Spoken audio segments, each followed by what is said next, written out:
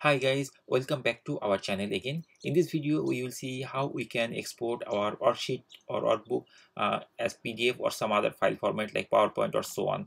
So let's get started. So before going to the main tutorial, I will request you if you are new to our channel or still if you didn't subscribe, please subscribe to our channel.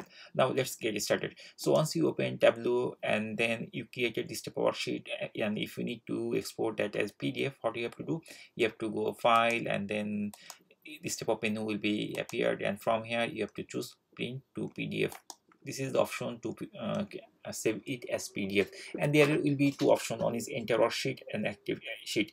Active sheet it means that it will save or it will actually convert pdf only this thing and enter worksheet means it will convert all of the worksheets together. Okay and then there is the paper size.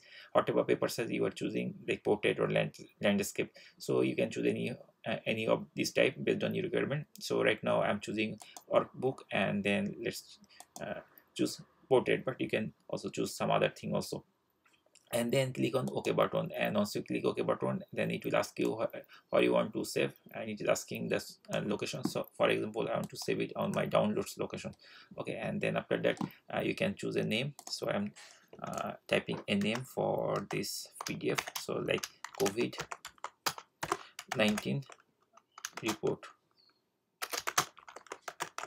okay and once you type the file name then hit the save button and it will be saved. And once it is saved then you uh, you can open that file easily and you can, so you can check how it looks like.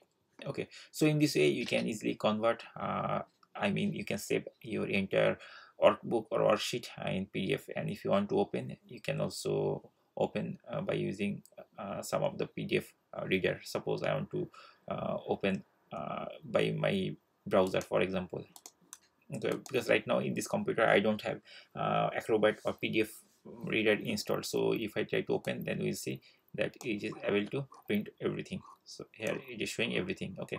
So in this way basically we can actually uh, do everything. Uh, we can print the entire documents or entire worksheet or couple of worksheet together. That's all uh, to save pdf now sometimes if you need to save this as powerpoint so for that case you have to click file and then there is an option export as powerpoint. And then uh, you have to mm, mention uh, export powerpoint like the view or something or a specific sheet from the workbook. Okay the, this view for example you want to make it powerpoint. Okay then click on export. And then finally you have to type the name like covid 19 for example covid-19 report for example and then you have to click on save button and then it will be saved in that particular location. If you go to our downloads location because i saved over there uh, we'll see that it is saved over there. Okay so in this way you can also download uh, the thing i mean you can export. And if you want to um, sometimes you also need to save this whole thing. Okay so you can save this thing two ways. One is only the template and there is with the data okay so to do this thing you have to click file and then save as and once you click the save as then it will give you two options uh, save as type. So there are two things. One is tableau tableau workbook and uh, uh, tableau packaged workbook so the bottom one it will save as uh, with the data and the top one it will save without the data. And then after choosing this just click save button and it will save something like that. Okay i'm not going to save because i already saved so i'm going to ignore it.